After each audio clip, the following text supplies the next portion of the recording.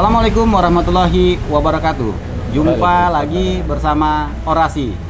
Semua bisa bicara Di sini. Bersama saya Desi Arianto, kita akan membahas terkait dengan potensi pelanggaran yang terjadi pada pemilihan kepala daerah dan wakil kepala daerah serentak di tahun 2024 ini.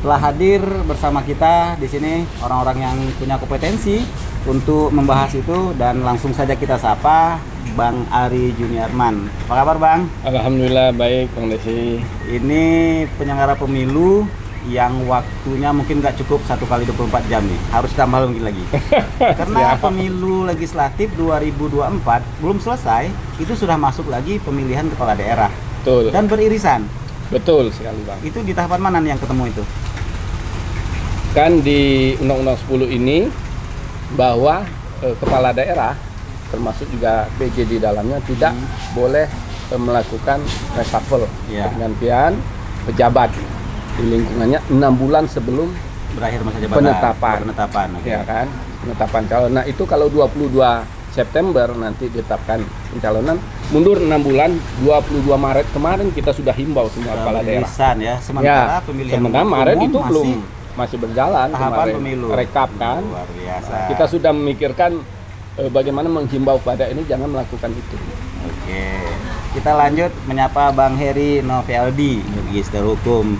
Beliau adalah akademisi dari eh, Universitas Islam Negeri Sultan Taha Saifuddin Jambi. Apa kabar Bang Heri? Baik, Bang Desi apa kabar? Ah, baik juga, Alhamdulillah. Tapi nggak sesibuk Bang Ari ya, Ya, kita agak nyantai. agak nyantai.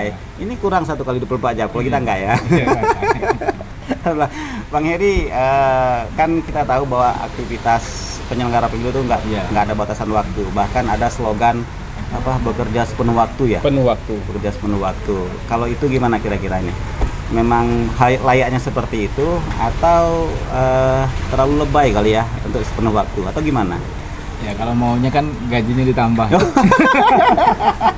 Karena bebannya ya tanggung jawab besar ya? pilkada itu ya. Belum lagi kan belum lagi soal bagaimana bisa menjaga apa pilkada ini berlangsung dengan sejuk, kondusif, gitu. ya. Semua tahapan bisa berjalan dengan baik. Itu kan memang sepenuhnya di penyel anu menjadi tanggung jawab penyelenggara Nah, baik itu KPU, Bawaslu gitu ya. Oke, Bang Hari ini sudah disinggung oleh Bang Heri ini terkait tahapan tadi. ya tahapan pemilu legislatif sedang berjalan bahkan sekarang sudah men- eh, sudah masuk lagi ke tahapan pemilihan kepala daerah yang di tahapan awal. Jadi semuanya beririsan. Nah untuk legislatif apa yang sedang berlangsung pada titik sekarang kemudian tahapan pilkada apa juga yang sedang berlangsung di eh, waktu yang bersamaan ini? Ya kalau tahapan pemilu itu kan selesai ketika sudah pelantikan. Oke. Pelantikan DPR presiden DPD gitu kan? Oke. Nah, apakah sekarang eh, dianggap sudah selesai ketika sudah rekap atau penetapan eh, calon anggota legislatif dan presiden kemarin? Hmm, Nah, ini untuk Provinsi Jambi kemarin baru sidang di Mahkamah Konstitusi oke Eh, terkait agendanya adalah pembuktian. oke Nah, artinya tahapan ini juga perlu fokus karena kita di situ memberikan keterangan oke. eh, seperti apa tahapan yang baik itu yang dimohonkan oleh pemohon maupun tahapan yang kita awasi ini masih masuk dalam tahapan pemungutan penghitungan suara ini ya di Mahkamah Yang- Konstitusi. hasil. Ya, yang digugat ya terkait mm, apa Hasil, namanya ya ba- maupun hasil, hasil dan tentu kita menyiapkan eh, seperti apa pengawasan tahapan itu kan. Berarti bisa saja pasca putusan MK itu nanti hasil pemilunya berubah. Eh, nah ya keputusan MK itu kan eh, banyak sekali bisa pemungutan suara ulang gitu kan Penghitungan. penghitungan ulang eh, Tapi dan mungkin pemilu ulang ya.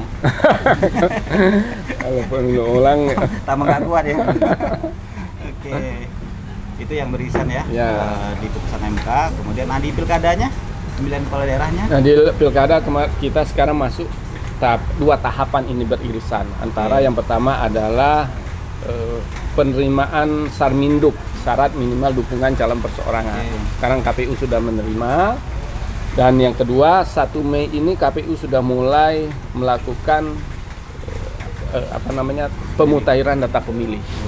Nah, jadi dua tahapan ini sampai ya penetapan bahkan sampai pemilihan nanti pemutaran ini terus berjalan.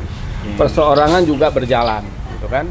Nah, kemarin ada empat yang mendaftar Kota Jambi, Batanghari, Sarolangun, Sungai Penuh. Penuh.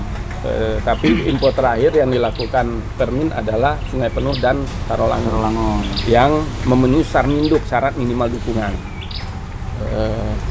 delapan setengah persen. Nah, ini juga tentu banyak sekali potensi pelanggaran yang akan terjadi. Oke. Nah ini juga apa yang Bawaslu lakukan. Yang pertama tentu menghimbau bagaimana semua pihak yang terlibat baik dari mulai pemilih, peserta dan juga penyelenggara dalam hal ini KPU ya untuk bekerja sesuai dengan prosedur dan ketentuan undang-undang, gitu kan? Nah, ini kita me- melayangkan surat himbauan kepada bakal calon perseorangan, KPU dan pemilih. Nah potensinya apa? Yang pertama tentu pemalsuan dukungan. Oke, pemasukan Ya, dukungan. dukungan. Yang kedua, tentu yang mendukung ini tidak memenuhi syarat, misalkan ASN, Oke. TNI, Polri yang tidak boleh dukungan, gitu kan. Terus juga eh, Kalau anggota parpol boleh? boleh, Oke. gitu kan. Nah ini kan nanti eh, kita sensus, itu kan, sensus melakukan Tidak sampling ya? tidak sampling. Jadi sensus, ya, di seluruh, seluruh dukungan itu kita verifikasi nanti, gitu kan. Eh, tapi metodenya sekarang KPU bukan hanya di lapangan, tapi juga ada media digital atau eh, melalui video, Video call, call. gitu, dan lain sebagainya. Ini juga kita lakukan pengawasan melekat. Nah, itu. Berarti potensi pelanggaran di tahapan awal pemilihan kepala daerah ini adalah eh, terkait dengan dukungan calon perseorangan. dukungan calon perseorangan. Ya untuk KPU-nya tentu kita pastikan prosedur jalan, Oke. waktu pengumuman, pembukaan pendaftaran, penutupan, nah itu kita pelototi betul. Jangan sampai lewat waktu, ya eh, tertib waktu, eh, apa namanya dan prosedur. Nah, Bang Heri, kalau penjelasan Bang Ari tadi ini dahsyat juga ini. Iya. Dukungan calon perseorangan itu kebenaran dukungan yang dicek ya. Kemudian dilakukan secara sensus. Nah, Berarti kalau saya, waduh, berat juga ini terkait dengan persyaratan perseorangan itu. Kalau benar-benar dilakukan dan dikonfirmasi langsung, berarti ini bisa jadi pemenuhan persyaratan bisa tidak terpenuhi. Itu gimana bang? Ya, tentu kan eh, kita agar eh, pelaksanaan tahapan di tahap ini memang betul-betul bisa maksimal, tentu kan jajaran KPU dan jajaran Bawaslu ini kan bisa lebih maksimal untuk mengecek verifikasi gitu ya. Oke. Jadi bisa saja misalnya dari lingkup provinsi sudah bisa mengukur apa potensi yang terjadi. Tapi kan petugas-petugas di lapangan ini kan juga harus kita berikan penguatan juga Bang Desi. Ya kan Bang ya. Nah, bagaimana jangan sampai terjadi hal-hal yang tidak kita inginkan. Misalnya ketika mereka menemukan ada apa dukungan eh, KTP misalnya sementara kita cek bahwa mereka masyarakat yang terdata itu bukan dia menyatakan tidak mendukung gitu ya. Nah ini kan harus jelas nih bagaimana caranya gitu ya. Nah tentu kan hal-hal misalnya kayak Bawaslu kan pengawasan seperti itu juga harus dilakukan. Karena kan mesti diingat nih Bang Desi eh, masyarakat ini kayaknya kan di tahun ini perdana nih merasakan bagaimana pilkada ini mereka sekalian nih kan baik itu gubernur eh, Bupati, eh, wali kota. bupati, wali kota dia berbarengan gitu kan. karena kita kalau kita dalam konteks eh, masyarakat ini kan juga nanti mereka akan menemukan ini misalnya di pilkada kabupaten bisa saja dia dengan kabu tetangganya dia sama tapi di provinsi Berbeda. dia berbeda gitu kan nah hal-hal begini Oh, kan misalnya terkait dukungan dukungan kan. Oke. Nah, menurut saya ini juga mesti kita lihat juga gitu ya bagaimana nanti di lapangan isu-isu masyarakat di lapisan bawah itu seperti apa gitu ya. Kalau potensi permasalahan yang dibilang oleh Bang Adi tadi bahwa dukungan itu akan diverifikasi Iya. dan ternyata eh, misalnya ketemu yang tidak mendukung, Nah. itu kan bisa berakibat ke calon yang tidak lolos kan? Iya. Nah ini gimana Bang kira-kira potensi Iya. konfliknya nih? Selama ini kan gini Bang Desi, eh, sering kali dalam tahapan verifikasi itu eh, masyarakat eh, sebenarnya kan yang sangat juga dibutuhkan dalam hal penyelenggaraan pem- pemilu ini kan keterbukaan ya, Ah, dalam informasi gitu ya. Selama ini ada hal misalnya kayak temuan dan segala macam, termasuk dalam hal dukungan calon perserangan.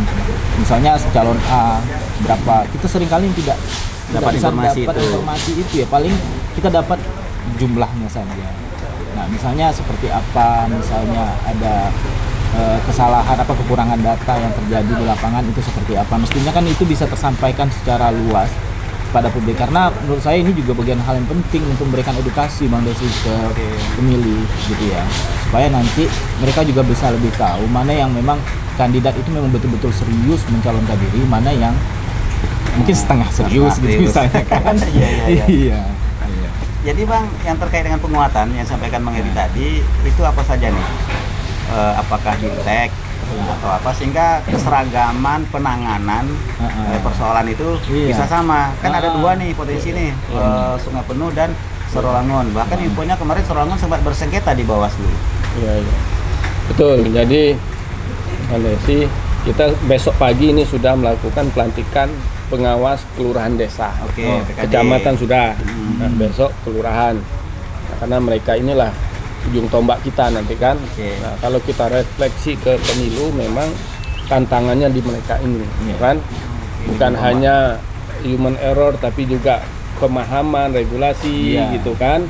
Terus juga eh, di lapangan apalagi nanti para eh, di TPS itu nah ini mereka ini menjadi ya tantangan bagi kita ya agar ya persoalan salah jumlah, salah ketik, salah hitung, human error gitu kan. Nah, ini tidak bisa ditekan seminimal mungkin. Nah, ini sudah kita siapkan dan pelantikan kecamatan sudah kita warning bahwa memang pilkada ini tentu berbeda Iya. spektrumnya gitu kan ini kan politik lokal ini lebih Iya. cenderung Dengan lebih keras gitu Iya. kan cenderung lebih keras ada persoalan apa namanya fanatisme kesukuan dan lain sebagainya lah begitu kan nah ini sudah kita warning ke kecamatan kemarin sudah dilantik agar tidak ada waktu lagi mereka untuk belajar. Karena kan kita nggak rekrut ulang ini mereka. Evaluasi kecamatan hanya berapa persen yang memang tidak memenuhi syarat lagi kita rekrut. Ya harapannya mereka bisa kita evaluasi dari eh, di pemilu kemarin untuk lebih baik lagi di kada Nah, itu potensi pelanggaran di eh, untuk calon perseorangan. Iya. Kalau potensi pelanggaran yang berasal dari partai politik apa saja kira-kira, Bang? Ya Tapi kan- jangan dijawab dulu. Oh, iya. Karena ada pesan-pesan yang mau lewat berikut ini. Pemirsa, jangan ke mana-mana, tetap bersama orasi. Semua bisa bicara di sini.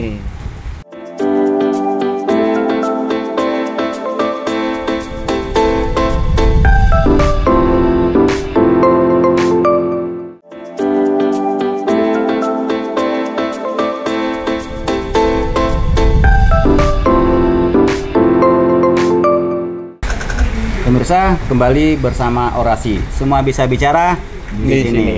Bang Ari tadi sempat terputus nih, Bang. Iya. Ya, sebelum masuk ke potensi pelanggaran di partai politik, itu di calon perseorangan itu pelanggaran terberat apa sih yang bisa berakibat fatal baik kepada calon, penyelenggara ataupun kepada pemilih?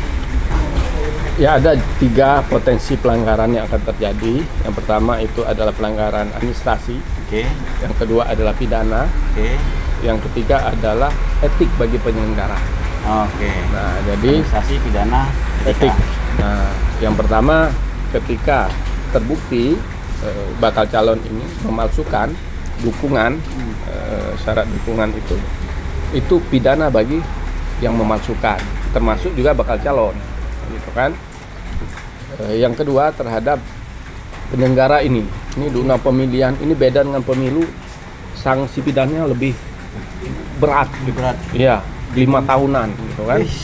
Nah, kalau undang-undang pemilu itu maksimal ini minimal 2 sampai 6 tahun, 5 tahun. Kalau penyelenggara ditambah satu per tiga. Nah, ya, apa masih Kalau kurang. gugatannya tiga tahun, tambah satu per tiga kalau dilakukan oleh penyelenggara. empat tahun jadinya. Ya. nah, bagi penyelenggara ya apa? Yang pertama mereka tidak melakukan eh, verifikasi atau ya artinya verifikasi itu tanpa dilakukan dengan prosedur. Misalnya dilakukan sensus tapi tidak disensus. Oke. atau tidak ada prosedur yang tidak dilakukan nah itu ada pidana bagi mereka. Disambil de- walaupun nanti eh, juga termasuk etiknya. Jadi etik tidak menghilangkan pidana juga. Nah, gitu. jadi selain diberhentikan bisa diganjar dengan pidana gitu kan? Nah, ini yang banyak untuk penyelenggara mulai dari KPU sampai kepada jajaran apa PPS di tingkat PPS-nya. kelurahan yang desa. paling rawan ya? pasti. karena mereka nanti eh, PPS ini akan berta- bertanggung jawab apa namanya membentuk pantarli nanti kan. Hmm. Nah, pantarli yang itu jumlahnya kan luar biasa setiap desa. Nah, ini mereka bertanggung jawab memastikan pantarli ini memang ya bekerja itu dan secara profesional tidak ada salah ya kan tidak tembak di atas kudo atau main catat-catat saya tidak prosedur gitu kan nah, itu ada sanksi-sanksi yang yang memang ya Bang Eri, kalaulah dengan beratnya sanksi itu, apakah akan membuat pemilu kada ini akan berjalan efektif atau malah memberikan ketakutan? Ya, sebenarnya kan kalau dari sanksi dalam hal pemilu ya, dari dulu kan eh, dari pihak penyelenggara kan selalu mensosialisasikan itu ya, kalau mau dipikir. ya. Cuman kan persoalannya kalau misalnya kalau kita lihat pileg kan ada beberapa kasus yang muncul ya sebenarnya Bang Des.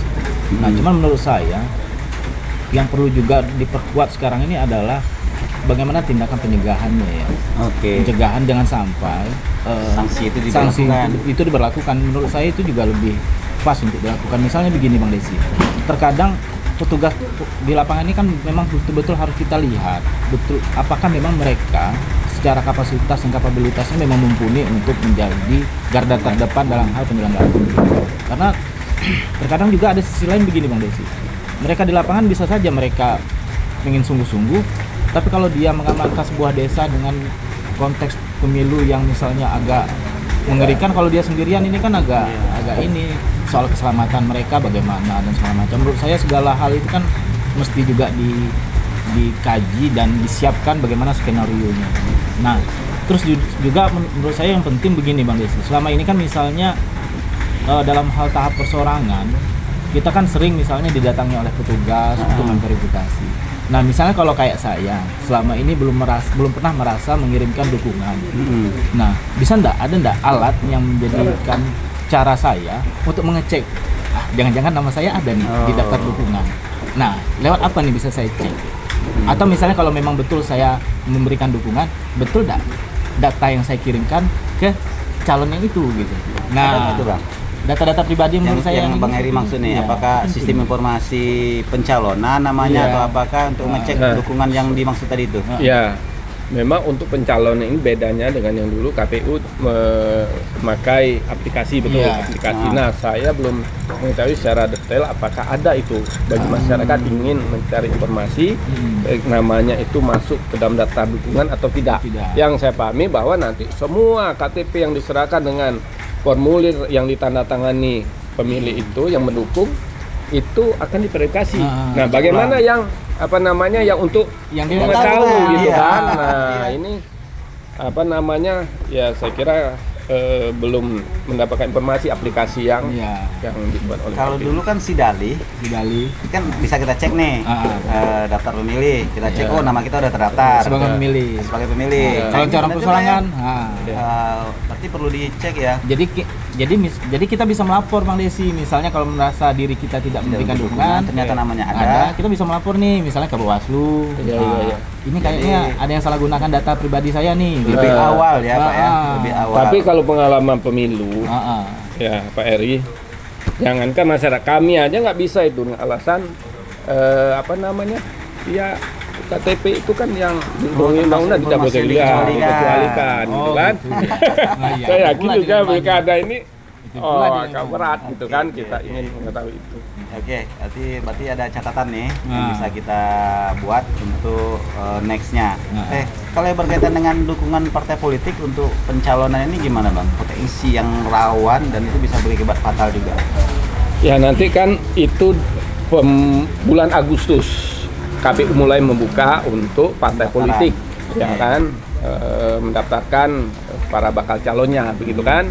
Nah tentu itu pun ada eh, syarat atau dokumen yang harus dilengkapi. Ya salah satunya bukti surat dukungan yang ditandani oleh ketua dan sekjen itu biasanya kan Ah. dan apa namanya ada surat dari eh, Kemenkumham gitu kan dan ya potensinya bisa aja terkadang dukungan ini dua gitu kan Dualisme dukungan. ya dualisme Oke. nah itu ada mekanisme dan prosedur nanti eh, untuk menguji mana yang eh, memang bisa diterima oleh KPU. oleh KPU ya kan Berarti hampir sama lah ya dualisme dukungan. Iya. Cuman bedanya ini di level partai politik. Nah kalau menurut Bang Heri antara dukungan perseorangan dengan dukungan partai politik untuk maju sebagai kepala daerah itu lebih visible yang mana? Ya intinya kan eh, dua ruang ini kan adalah ruang yang diberikan oleh amanah undang-undang, Oke. amanah konstitusi kita ya. Bagaimana Tinggal dipilih ya, aja oleh hak calon politik ya. Tinggal lagi memang eh, kita diberikan ruang sebagai masyarakat ini memang betul-betul tahu dengan calon yang memang nanti didukung oleh partai, baik itu juga partai ataupun yang termasuk juga persorangan. Sejauh mana keseriusan dan apa sih sebenarnya yang memang mereka inginkan ketika memimpin sebuah daerah gitu, baik itu gubernur, wali kota, bupati. Jadi kan maksud saya, jadi supaya terasa memang ini kepentingan rakyat pilkada ini bukan kepentingan parpol gitu atau perseorangan yang dari kandidat gitu ya. Menurut saya itu juga menjadi poin yang penting kan. Itu berarti senada dong yang dibilang Bang Ari tadi spektrum pemilihan Nah. daerah ini berbeda betul dengan eh, pemilihan umum yang kemarin baik legislatif maupun pilpres ya. Nah, Bang Ari kalau tahapan berikutnya setelah pencalonan ini apa dan kemudian apa aja yang jadi titik rawan yang di situ sehingga eh, potensi konfliknya bisa muncul. Mulai 1 Mei ini kawan-kawan KPU melakukan pemutahiran data pemilih Oke. Nah ini juga sangat eh, tahapan krusial, saya kira karena eh, ter- ini terkait hak konstitusional gitu kan masyarakat. Eh, jangan sampai nanti yang punya hak pilih itu nggak bisa milih ya, dan eh, ya karena kesalahan dalam pemutahiran ini ya dia nanti seharusnya ada apa namanya bisa memilih di TPS yang bersangkutan menjadi tidak bisa begitu kan. Nah ini juga eh, kami akan melakukan eh, pengawasan melekat karena KPU sudah membentuk Pantardi sekarang Panitia Eh, pemutahiran daftar pemilih ya kan PPDP. Nah ini juga eh, sudah dilantik besok kami pengawas eh, desa kelurahan yang memang langsung siap eh, mengawasi Pantarli dalam melakukan pemutahiran door to door rumah-rumah gitu kan? Eh, agar memastikan bahwa yang pertama eh, masyarakat itu eh, didatangi dan memang terdata secara akurat. Jangan lagi ya persoalan klasiknya itu kan ada yang orangnya sudah meninggal masih masuk Ya. gitu kan? Terus Dan juga terus ya, Oh, iya yang begitu. ya dari pemilu ke pemilu. Ada yang masih status ASN Polri masuk daftar pemilih pemilih ganda wah itu persoalannya sebenarnya kalau tidak di manage ya tidak ada pemetaan dan mitigasi saya rasa ini akan terjadi lagi. Nah, tahapan berikutnya apalagi kira-kira potensinya? Ya setelah itu Pemungutan data pemilih, pencalonan. pemilih, pencalonan dan kemudian kampanye. Oke, kampanye. Ya. Nah, ini kampanye gimana nih? Eh, Ini kayaknya sudah mulai melibatkan publik nih. Ya, nah ini kampanye juga dimulai nanti tiga bulan, ya kan tiga bulan sebelum November berarti September, Oktober, November. Oke. Di Jadi ya dua dua puluh dua dua lima September itu sudah mulai eh, kampanye. Nah kampanye ini juga pengalaman kita ini tahapan yang ya bisa dikatakan eh, banyak juga terjadi pelanggaran, nah, gitu kan. Nah maka betul apa yang disampaikan Pak Eri tadi fungsi Bawaslu ini bukan hanya penindakan tapi juga pencegahan. Hmm. Nah, ya nanti yang kita lakukan tentu akan melakukan sosialisasi, edukasi dan kemudian menyampaikan eh, apa namanya aturan main yang jelas kepada seluruh calon dan tim pemenangannya gitu ya. dan termasuk juga masyarakat ini agar eh, ya pelanggaran yang sudah kita prediksi ini tidak terjadi lah minimal bisa kita tekan sekecil-kecilnya gitu kan Sehingga tidak muncul ya. ya tidak muncul ya. Nah, kita lakukan pencegahan dan ada sekarang sudah kita lakukan eh, mitigasi lah eh, apa kira-kira pelanggaran yang akan terjadi ya bagaimana eh, konteks pencegahannya dan juga tidak meninggalkan eh, apa namanya penindakannya gitu kan pencegahan tidak meninggalkan penindakan makanya sekarang kami kami akan pastikan bahwa semua jajaran kita akan serius ya, baik itu melakukan pencegahan, eh, pencegahan dan penindakan ini tentunya gitu kan karena ini juga tidak mudah eh, ketika ada peristiwa perbuatan eh, pelanggaran itu untuk dibuktikan. Buktikan. Nah, ini tantangan kita. Makanya ya. kuncinya adalah profesional dan serius untuk ya bukan hanya melihat eh, pe- menilai pelanggaran tapi ya dari sisi menilai syarat formil, material dan sebagainya sehingga memang Komplit ya dikaji ya, ya. tidak Oke. ada yang pelanggaran itu yang tidak diproses. Oke, Bang Eri, kalaulah melihat penjelasan Bang Ari ini tadi banyak betul nih potensi pelanggarannya. Itu ada korelasi tidak kualitas eh, penyelenggaraan pemilihan kepala daerah ini dengan banyaknya potensi pelanggaran itu eh, berpengaruh nggak dengan kualitas pemilihan itu? Tapi jangan dijawab dulu Oh. karena ada pesan-pesan yang mau lewat berikut ini. Pemirsa, tetap bersama kami bersama Orasi. Semua bisa bicara Di di, sini. sini.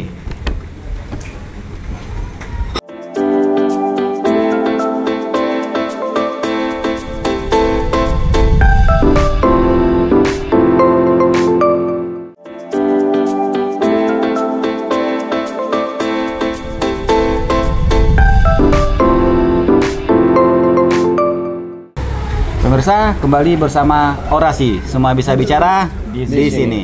Oke, Bang Eri sempat terputus tadi, Bang. Korelasi nih antara tingginya pelanggaran dengan kualitas pilkada. Itu kira-kira ada nggak ya? Ya pasti ada korelasi. Pasti ya? Ya termasuk juga sebenarnya ada korelasi juga sejauh mana kepercayaan publik terhadap penyelenggaranya. Oke. Nah, kalau publik merasa penyelenggaranya tidak objektif ini juga jadi masalah nanti dengan hasil pemilu tuh kondisi Oke, ya oke. kan sebenarnya kan dalam hal pemilu menurut saya semua instrumen semua apa pun itu kan tentunya saling berkaitan ya karena balik-balik lagi kan pemilu ini bagaimana kita bisa menumbuhkan kepercayaan masyarakat dan juga bagaimana kita bisa memberikan ruang eh, penyelenggaraan pemilu ini kan kepada masyarakat sehingga memang betul-betul masyarakat ini bisa menyalurkan pemiliknya eh, pemil- eh, eh, hak pilihnya itu kan seobjektif mungkin gitu ya. Maka dari itu memang semua instrumen saya pikir ini harus diperkuat dan harus dimaksimalkan Bang Desi. Ya kan? Apa hal-hal yang sifatnya misalnya kita anggap ini bisa mengganggu, tentu kan eh, Bawaslu punya banyak data itu soal potensi potensi mereka pastinya sudah mulai dari sejak sekarang kan sudah mulai eh, membuat list gitu ya. Saya pikir konsentrasi kita ke sana, saya pikir ini kan setidaknya bisa membuat semacam apa eh, mitigasi ini kan eh, dengan maksimal gitu. Mm-mm. Jangan sampai nanti di tengah jalan eh, kita menjadi apa masyarakat menjadi tidak teredukasi dengan baik misalnya. Nah, bagaimana masyarakat akhirnya misalnya eh, tidak percaya dengan seperti itu, menurut saya itu juga akan melemahkan kualitas itu. Karena, nah saya pikir juga Bang Desi eh, kayak di pemilu kali ini juga harus diperkuat ya pengawasan partisipatif misalnya. Oke. Nah, karena kan dengan pilkada serentak ini menurut saya tadi Bang Desi sudah bilang bagaimana Bawaslu bekerja hari ini Iya. kan siang malam gitu ya. Kalau orang kalau Pak RT itu bekerjanya satu kali 24 jam, BK 7 kali 24 jam. Iya, iya, iya. Tujuh kali 24 jam. Nah, tentu kan eh, kita tidak bisa meng- hanya bertumpu pada Bawaslu dan KPU saja. Bagaimana masyarakat ini juga harus kita dorong partisipasi aktifnya, Pak. Nah, maka dari itu maksud saya instrumen-instrumennya harus kita siapkan. Nah, misalnya tadi misalnya soal tahapan persorangan bagaimana mereka bisa melakukan pengawasan sendiri. eh, melaku, apa yang bisa mereka lakukan. Jadi sering kali kan begini Bang Desi. Seringkali kampanye yang dilakukan dalam pemilu jangan golput. Oke. Caranya bagaimana? Pilihlah sesuai itu nurani. Caranya bagaimana? Nah, maksud saya how-nya ini juga ujung harus ya, di- didorong itu. terus gitu ya. Jangan hanya sekedar kampanye, tapi cara melakukannya bagaimana? Masyarakat harus di- diedukasi. Kalau tidak, ini ancaman hukumannya gitu. Maksud saya harus jangan sampai putus. Sampai ke situ ya Iya. informasi yang diberikan pada masyarakat. Oke. Bang Ari, ada tidak Bang yang dari pelanggaran itu eh, akhirnya berdampak kepada misalnya pembatalan calon, pembatalan eh, peserta pemilu, atau mungkin gara-gara pelanggaran itu pemilunya bisa diulang? Pilkadanya ya, pilkadanya bisa diulang.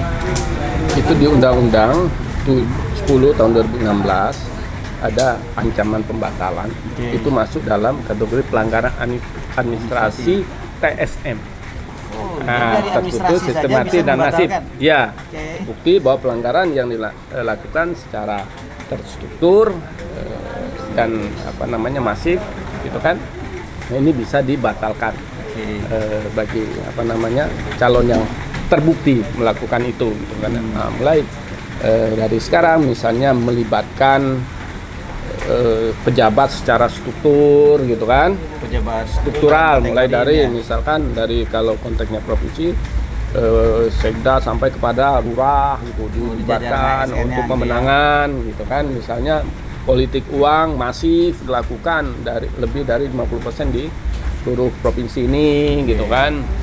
Dan dua pelanggaran pelanggaran sifatnya ya itu tadi bisa diindikasikan itu terstruktur dan eh, Masif ya. gitu kan bahwa pelanggaran itu masif besar gitu kan. Itu bisa membatalkan eh, mereka sebagai calon Berarti tegas juga ya aturan ini ya. Administrasi saja bisa menjadikan eh, pasangan calon itu tidak bisa melanjutkan ke tahapan berikutnya atau dibatalkan. Iya. Selain itu masih ada lagi bang?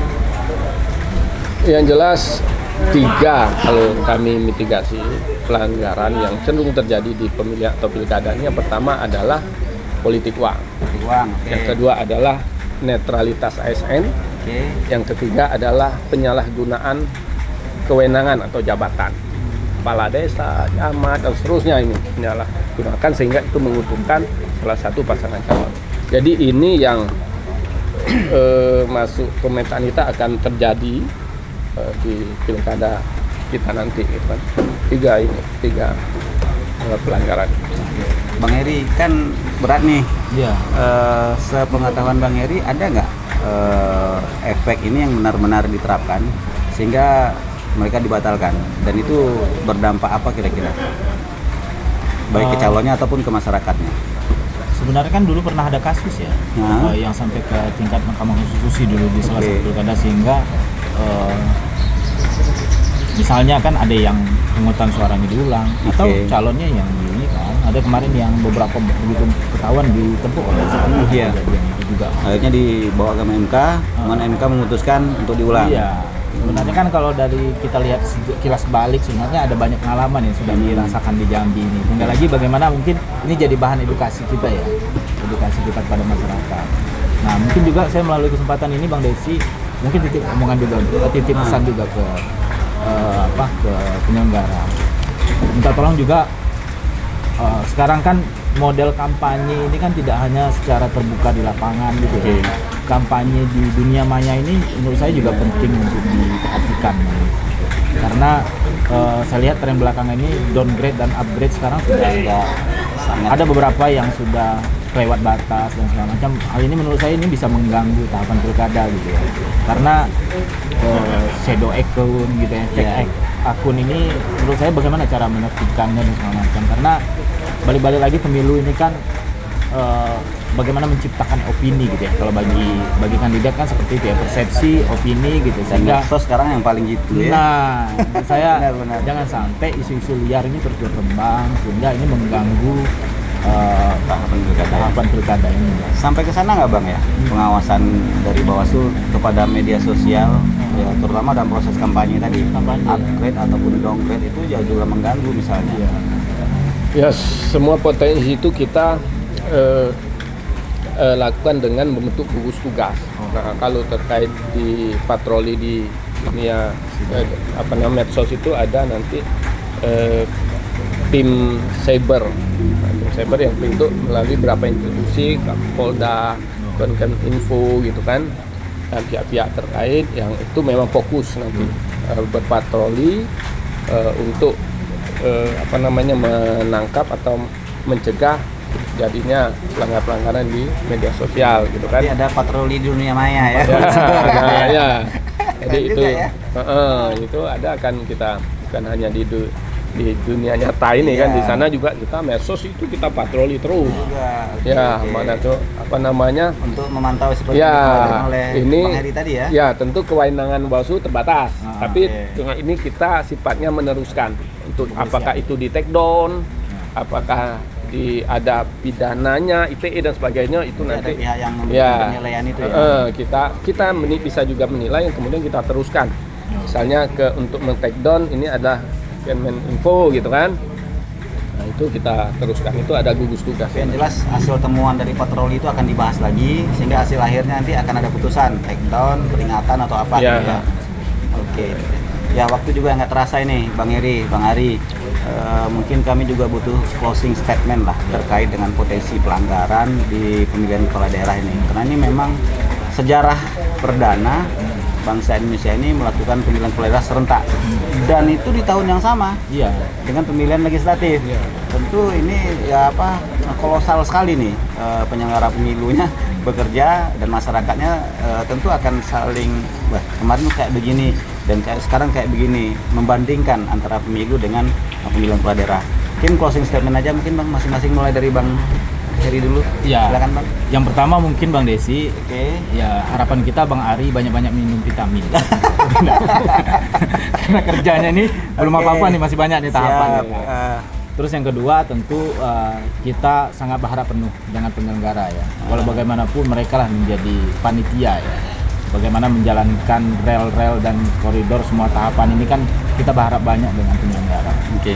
Ada hal-hal yang sifatnya mengganggu potensi menurut saya ini harus betul-betul di, dimaksimalkan. Awal ya. Tidak elok juga kalau kita menghukum gitu ya. Yang baik itu adalah kita mitigasi. Kita sudah prediksi apa yang misalnya menggang sekiranya mengganggu menurut saya dari sekarang sudah mesti di Kan pekerjaannya juga pekerjaan yang berulang-ulang Iya, ya. dilakukan. Misalnya ada yang bilang dalam pilkada legislatif eh pemilu legislatif dulu marak money politik. Ya. misalnya. Ada desas-desus kan begitu. Menurut saya ini bisa diambil dan dipetik bagaimana di pilkada kali ini ini tidak lagi terjadi misalnya. Oke. Atau misalnya ada yang sifatnya eh, mengkonsolidasi misalnya menggunakan katakanlah misalnya eh, penyelenggara di bawah mungkin ini juga harus bagaimana caranya? Jangan sampai kejadian seperti itu terulang lagi gitu kan terus misalnya eh, tahap-tahap yang lain kampanye seperti yang saya bilang tadi misalnya soal eh, kampanye yang edukatif kampanye boleh negatif tapi jangan sampai menyebarkan isu hoax dan segala macam memfitnah apalagi membuli itu menurut saya juga jangan sampai eh, eh, dila- terjadi ya kita ingin pilkada ini kan berlangsung dengan guyup ya kan Bang Desi. jadi karena walau bagaimanapun kan ini kan eh, menjadi saluran kita bagaimana bisa menghasilkan pem- pemimpin yang kita harapkan gitu ya pemimpin berkualitas maka dari itu kita sangat berharap banyak sih dengan eh, Bang Ari dan kawan-kawan begitu juga KPU ya tapi itu tadi jangan lupa minum vitamin Oke, terima kasih. Bang Ari, silakan Bang, Iya. closing statementnya Bang. Yang pertama pilkada yang diselenggarakan dengan tidak berintegritas, profesional gitu dan tidak serius eh, menjadi pilkada yang tidak berharga. Oke. Nah, yang kedua bahwa pilkada ini penting bagi kita semua termasuk masyarakat. Jadi ayo masyarakat care terhadap pilkada kita. Sekian. Oke, terima kasih Bang Ari, Bang Heri sudah hadir di orasi untuk ya kita membicarakan terkait dengan potensi, pelanggaran tadi. Karena di penyelenggara pemilu ini katanya ada tagline eh, pemilih cerdas, eh, pemimpin berkualitas. Oh, Nah, artinya cerdas di sini mungkin ya informasi, edukasi dan segala macam itu menjadi bagian yang tidak terpisahkan. Siapa saja yang bisa melakukan ya tentu nanti eh, tergantung dengan kewenangan masing-masing. Yang penting terima kasih sudah hadir. Sehat selalu Bang Heri, Bang Ari. Ini udah diingatkan nih banyak ma- banyak makan vitamin. Karena pasti kurang tidur. Iya, itu. Kerjanya pasti lebih full gitu kan dan interaksi dengan orang pasti luar biasa banyak ini. Eh, karena pekerjaan memang pertama tumpang tindih dan memang terus menerus sehingga ada eh, be- harus bekerja sepenuh waktu. Tapi kita yakin ya mereka pasti mampu. orang-orang terpilih amin. Bang. Orang Amin, terpilih. Oke, terima kasih Bang Ari, Bang Heri. Pemirsa, eh, pemilihan kepala daerah itu tinggal menghitung hari saja dan semua tahapan ternyata itu mempunyai potensi eh, pelanggaran, potensi masalah. Nah, tinggal bagaimana lagi apakah masalah itu benar-benar muncul atau tidak tergantung daripada penyelenggaranya, pesertanya dan masyarakatnya. Mudah-mudahan energi positif dan yang eh, menjadi lebih penting adalah informasi yang didapat itu adalah lengkap dan komplit sehingga eh, masyarakat, penyelenggara dan siapa pun yang terlibat itu mendapat informasi yang positif juga. Terima kasih eh, telah bersama Orasi dan kami hari eh, Assalamualaikum warahmatullahi wabarakatuh. Tetap bersama Orasi, semua bisa bicara Di sini.